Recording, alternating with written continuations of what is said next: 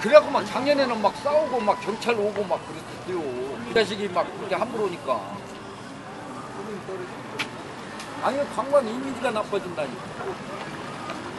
그거 그거 보통 거 그거 그거 저게 이 자식 그거 보덕해야 된다. 관광객 그런 사람이 다 모이고. 그러니까 아주 아주 나쁜 놈이야. 안 살려면 뭐들로 왔냐고. 응? 막 부지런히 이게 이게 뭔 소리요?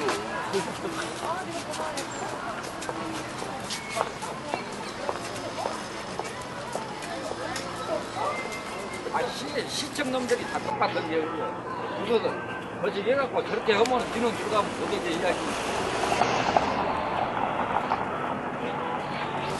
아, 시청에서 허가 내줬더니 그것도 우리 허가 내주시는